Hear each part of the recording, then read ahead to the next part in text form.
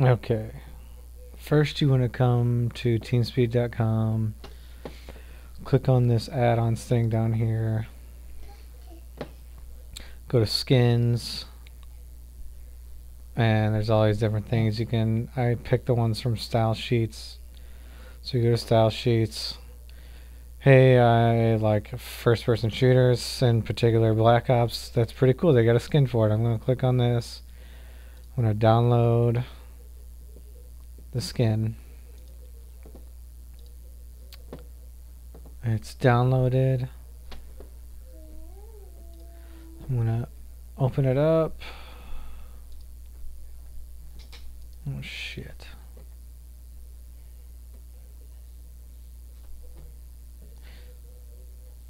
Alright, here it is. Okay, so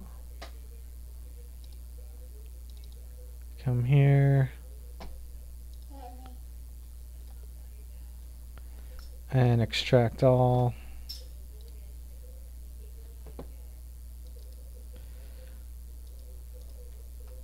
So basically, wow, that was, um, don't pay attention to anything I just said.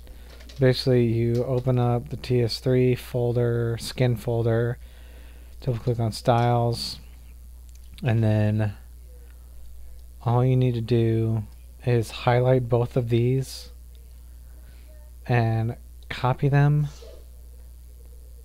then go to program files and go to TeamSpeak 3 client go to styles. Once you get to this all you need to do is paste once those are in there, go up to settings, options. Let me bring this down so you can see it. Alright, so we're in options. Come to design. And here it is, COD Black Ops. It's kind of abbreviated, but click apply. Look at that.